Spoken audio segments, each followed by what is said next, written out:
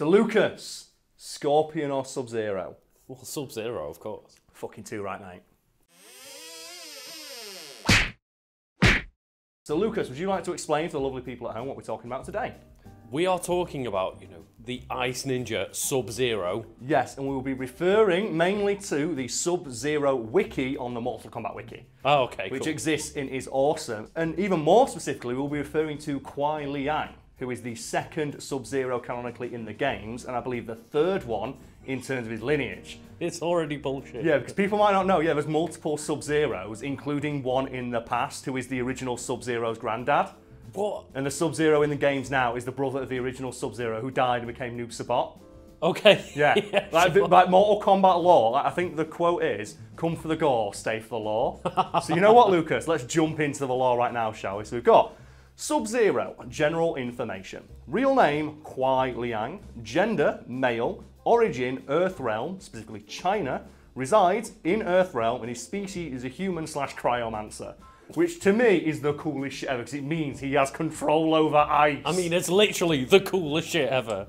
It's also the most broken OP power ever because I think we've talked about it before. Where was that hmm. comic for the X Men where Emma Frost takes over Iceman, says you're a fucking moron. You don't create ice, you remove energy from the atmosphere. That's the most OP shit ever. Yep. And I think when he gets his body back, because you know comic shenanigans, like she takes over and he gets it back, and he instantly becomes an Omega level threat. It's like, oh yeah, you could bring in a new ice age by removing all the energy from the Earth's atmosphere. He's just realised what power he actually had all along. Which really puts into context that moment where the guy who can just like control fire tries fighting him and then he just headbutts him. Which I quite like about like Sub Zero. Like, as the games have gone on, like um, they've added to his model, like he's got frozen hands, Oh, yeah. which is like an explanation for his oh his power is too great that he can no longer control it. So he's just literally constantly just got frozen hands. Oh, God. So fighting styles: Shotokan and Dragon. I want to fight just- like I- a dragon. I thought it was always just ninjutsu because obviously he's a ninja. Actually, no, they're not. Have you ever heard that? In one of the introductions in like Mortal Kombat 11, it's like, oh, cool, you're a ninja. And Mortal Kombat was, the Lin Kuei are not ninjas. and he gets really mad about it. So, says, so why do you dress like them? It's Yeah, like, we're what- not ninjas, but we dress like them. Why are there a dozen characters all dressed like ninjas that apparently aren't ninjas? No, like Sub Zero is not a ninja. So and then we have like the games he's appeared in, which I think is almost every single one. I would hope so. It's almost every single one, bar like one or two. Well, he's like one of the two mascots for the Wait. series. But he's not Ed Boon's favourite. That um, honour belongs to Scorpion. Oh, fuck Scorpion. Which is why Scott, like, I think it's Mortal Kombat 9, where on the character select screen you press start and just Sub Zero gets wrecked. Sub Zero getting wrecked on the start screen. So, should we start with just a basic summary of who Kuai Liang is? It already sounds like it's not going to be very basic, Karl. So, here's a quote from him, which is, like, you know, his 2011 battle cry, which is, This fight will be your last. oh, that's cool. Like, he has some of the greatest quotes in the series. Yeah. Uh, my favourite one being where it's like, oh, I I don't know who he's talking to. It's the person who like kills Scorpion in the story. But then Okay. Scorpion comes back and it's like, you killed Scorpion. And they go, but he is your enemy. And Sub Zero like crushes his like ice and goes, he was my equal. it's like, oh, it's so Yes. fucking cool. It's like The that he knows. It's like Mortal Kombat is the perfect setup for quotes like that because you're literally fighting to the death. Yeah. But I just love the idea as well that like Sub Zero's like, I hate him, but he's my equal. Yeah. And I think they even have an intro when they're fighting each other. It's like one more round, Scorpion. It's like, yeah, go on then, why not? He's like his Goku. It's Yeah, like he pushes him further. They have that Goku and Vegeta moment of like, we know we're going to keep fighting, so fuck it one more. So, Kuai Liang, uh, which literally means quick cooling in Chinese. Of course it does. Uh, better known as Sub Zero, uh, which, in uh, which in his original language is Absolute Zero. Uh, he's a Grandmaster of the Lin Kuei, formerly known as Tundra and briefly as the cyborg LK520 Very brief. when he was like you know Cyber Zero. Um, he's a Lin Kuei assassin in the Mortal Kombat fighting series. He is the younger brother of Bi-Han, who was the original Sub Zero in the first Mortal Kombat game. I like the fact that his name is literally cooling, but he wasn't the Sub Zero. No, he was Tundra originally. Yeah. Tundra, which is so late, which I think was the original name they're going to give him until they realised Sub Zero sounds so much cooler.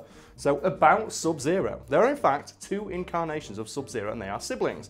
Older brother Bi-Han and younger brother Kuai Liang, who we're talking about today. Both are Blue Guard warriors who at different times have used the code name Sub Zero and both serve the Lin Kuei.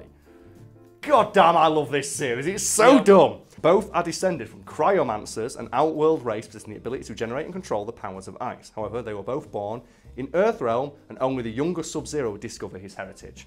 Kuai Liang bears a scar on his right eye, which he received between the events of Mortal Kombat 3 in the new timeline. The scar was made by Kano, as revealed in one of the comic books. Okay. Yeah. The thing is, though, um, K- Kano would go for the eye. Yeah, he's, he so, would, yeah. he's so salt about losing his own eye. Then he gets a cool robot eye that fires lasers. So if anything, he's actually better now he's, He's lost got his an eye. upgrade, yeah. He's so much cooler. So Bi-Han appeared as Sub-Zero in the first Mortal Kombat game, while Kuai Liang went by the codename Tundra after Bi-Han was murdered by Scorpion. During the first tournament, Kuai Liang swore vengeance on him. He mastered the art of ice and cold and took his brother's former codename. I love that. It's like he swore vengeance, but was also pissed off when Scorpion died. Yeah, and I think if you make Noob Saibot, who is like, you know, Sub-Zero's brother, fight Sub-Zero in Mortal Kombat 11, just like Noob, he's just like, he delivers the most brutal verbal beatdowns and tells him, like, you are not worthy of our grandfather's Oh, code name. no. and Sub-Zero's like, I'll beat the shit out of him, prove that I can. It's so rough, it's so Oh, bad. just dunking on his brother. Yeah, he, he even says stuff like, "Oh, I'm glad that you're dead" and shit like that. So it's Holy cr- shit. uh, that is a sibling rivalry for the ages. So uh, appearance, I think we all know this one, but like, you know, maybe there's something in here we're not familiar with. So Sub-Zero dresses in a familiar blue garb ninja-like uniform. Originally, Sub-Zero was depicted with Asian fe- facial features that are revealed in the ending when unmasked due to his Chinese-American heritage. And have you heard about that? Where it's um, the voice actor for a lot of the actors in Mortal Kombat 11 was changed to represent where the character is supposedly from. So they got like an Asian guy to play Scorpion, but for Sub Zero, because Steve Blum's so good, they just kept him. Oh, And then did you see that they did like a, a special event skin um, for Sub Zero, where it's like some rapper or something? Oh, no. And they got him to do some voiceovers for it, but he clearly recorded them like in a toilet or something. And the voiceovers are so bad, and someone just uploaded just here's what happens when you make original Sub Zero fight this shit guy, and the voice is just so bad.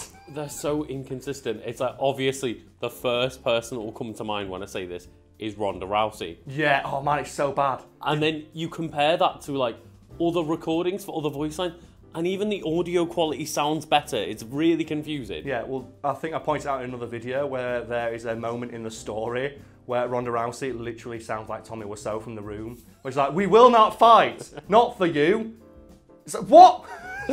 I don't get it. Anyway, interestingly, Sub-Zero is one of the few characters in the series to show signs of natural aging, faster than anyone due to the Dragon Medallion. So did you know about that? No. So the medallion that he wears that gives him like you know enhances his ice powers. It robs him of his his youth. I'd take that trade. Yeah, I'm now like 500 times more powerful, but I'm a bit older Yeah. but I look really cool because I've got. Because he doesn't even get older in like a bad way. He gets like the little Mr. Fantastic like grey there, and then like the little crow's feet. But because obviously he's got pierce, he's got the most literal piercing blue eyes ever. Because obviously they're just ice eyes now, so he just makes him look even hotter. Right, so we've got combat characteristics here, and there's a subheading called signature moves. So we just go straight to that. I think we need to head straight there, Karl. And what do you think is the first thing listed here for signature moves? And I think it's probably one of the most iconic moves in all of fighting games. Like behind maybe Scorpion's like get over here, the spear. Behind like the Hadouken as well. Yeah, I think it's up there with it. Is it the ice slide? No, it's the ice blast. Oh, the ice blast, okay, yeah. Because I love that. Because I remember in the very original arcade game, they put it in because they love the idea of giving someone a free hit. Mm-hmm. And they wanted obviously Scorpion and Sub-Zero being the poster boys to both have like something similar. So Scorpion gets the spear, gives you a free Ah, hit, right, and then yeah. Sub-Zero gets the ice blast. So Sub-Zero sends a blast of ice directly towards the opponent to temporarily freeze them in place for a free hit. You can also freeze opponents in midair. Yeah, I That, love that's the craziest shit ever, that isn't it? And I When they're like tucked up in a ball in the air and just. I always wonder why they didn't do like an aesthetic change in like the later games where it freeze them and put like a pillar like rooting to the floor. I think it just looks so much better when they're a dumb ball of ice stuck in the air. so he's actually he's also controlling gravity, but whatever. so if Sub Zero were to freeze the opponent twice, the second ice ball would defrost the opponent and freeze Sub Zero, setting him up for a free hit. I did not know that. In one of the earlier games, it did that, yes. I mean, that's a very clever mechanic. And I think in later games, it just defrosts them, does a little bit of damage. So it Yeah. seems like an insult thing. If you freeze them and just launch another ice, like, it goes so fucking slow. Uh, in MK11, there is an enhanced version called the Ice Beam, where instead of a single ball of ice, Sub Zero shoots a beam of ice. Oh, man, So he that's shoots, cool. he shoots a Kamehameha wave of ice. In MKX, the enhanced version is called the Ice Blast. And activates faster and is much larger, faster moving projectile rather than a beam. It also has the ability to destroy enemy projectiles on hit. Yeah. Yeah. Equipping Deep Freeze in one of the games allows the attack to be amplified and alter its effects. This ability requires two slots when equipped in MK11. Amplifying this attack now has Sub-Zero send a fast-moving ice block and strike ducking opponents. So you can't even duck below it. "Ah!" It's just listening to you read that though. I'm like, when the fuck did Mortal Kombat become an RPG? Like, Oh man, yeah, the variation system's super fucking awesome. Because I have my one for Shao Kahn, which is called Beef. oh, And then I've got another one called Big Beef, which is where he hits even harder, and all it is is all the hammer attacks. Yeah. The second move listed is the one you said, the ice slide, which I think is one of my favourite moves because like that thing was so fast in the early days, Yep. and no one could stop it. Because like the entire other side of the screen sent out a spear, Now, whoop. I think that's why when you asked what the most iconic, that's the one I dicked about with the most. because it's so fast. And It's Yeah. almost like no one knows what to do against it when you just just start playing. And it just looks so stupid when you spam it and he's just, "Wah, wah, wah." goes all the way across the screen. So the slide, Sub-Zero slides across the floor, knocking the opponent off their feet. It's assumed that Sub-Zero slides by freezing the soles of his feet. I like that. They don't know why he's doing it, but he just freezes the soles of his feet. Whee! Do you know what he's really got? He's got those um, Sonic Slade shoes. Do you know those ones that the ones that you slide down rails on? Oh, the soap shoes. They, yeah, I yeah. bet he's just wearing them in it. So uh, the next move is the ground ice, which is one where they just like slip on it like a jackass, and every character gets that animation, which I fucking adore. We've got the ice clone, and I fucking love the ice clone because in one of the games they gave him the ability to just throw it. Oh yeah. He just throws it at him. It's so fucking good. And have you seen the thing he does like mid-round in the later games where he like freezes the clone and walks off screen, and then when you stand back up, he walks back on and just punches it for no reason other than like fuck you. I'm Sub Zero. The intimidation tactic. Oh man, it's so good. Got the ice counter. Wait a minute, wait a minute. What's this? The ice nugget. Ice nugget. Oh, sorry. It was. Oh, sorry. It was in uh, MK versus DC. Oh, so That's- that's why no one gives. Yeah, The ice burst, the frost hammer, the air frost hammer, the polar puncture, the barrier of frost, the frozen aura, the ice burst, the frost bomb, the icy slide, the cold shoulder. I like the name of that one. Oh, like you know the people naming these moves come up with some fucking pun. Creeping ice, rising ice, frigid storm, death circle barrage. You know, during his emo phase, the polar axe, the arctic trap, deep freeze, and chill out, which is his fatal blow. Which is where the one where he sticks the axes in them. But I fucking love Oh, it. okay. I love that they're all named after ice. Yeah. And like, then you just have for DC, it's just ice nugget. Ah, ice Just nugget. a little nugget of ice. oh god, that's so fucking lame. So as per usual, Lucas, should we end on the trivia section? Yes, we shall. Okay, so Sub Zero makes a cameo appearance in Injustice Gods Among Us and is a playable guest character in Injustice 2. Yes, yes, yes. And Joe, what I love about that, because Spawn got released, I think, yesterday. Oh, for, did he? For Mortal Okay. Kombat 11. And during one of their character interactions, like Spawn asks Sub Zero, Have you ever been to another dimension? To which Sub Zero responds, I've seen many injustices. and, and Spawn responds, Maybe that's why my soul still burns. Very obviously references to Injustice 2 and Soul Calibur, in which both those characters made appearances. But really all the comments are like, I'm not sure if people missed it, but this line is a reference to Injustice. It's like, we fucking know we're watching a compilation of Spawn quotes. And it's like, it was so on the nose. They put the title Injustice in his quote. yeah. But people are watching it going, oh my god, he referenced Soul Calibur. It's like, of course. ah, ah." and the, the fact that people think that I noticed it and no one else did. Yeah.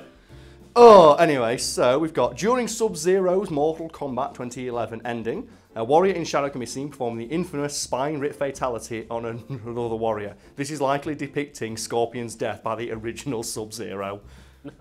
I love that shit. Or, maybe it's just something the Lin Kuei teach people, and that's why no fucker mess with the Lin Kuei. 'cause They That's are their signature move. well, they are assassins, and I would fear a group of assassins.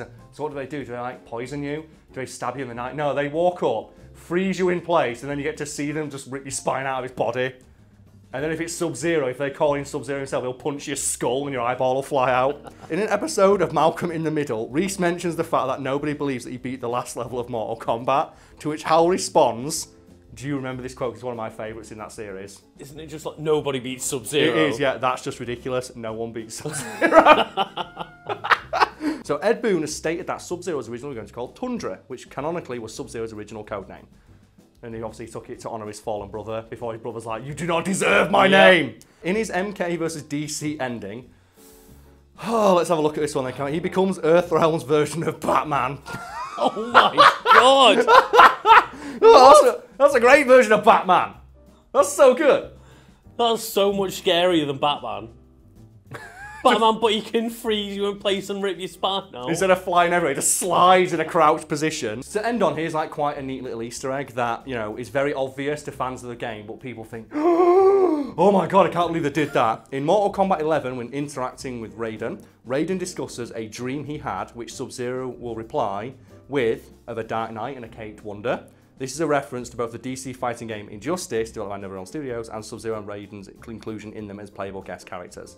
Okay. But people are like, oh my god, a Dark Knight and a Caped Wonder. Did you know that's Superman and Batman? I bet you didn't. I bet you didn't know. I noticed that. Did you? So, oh my god, it's a further reference in an interaction with Cetrion, which Cetrion states to Sub Zero that his dream of going there was no dream, hinting at the possibility that both Raiden and Sub Zero actually went into the Injustice universe. They're both, everything's canon in Mortal Kombat, motherfuckers. God, yeah. it is. Reset that timeline.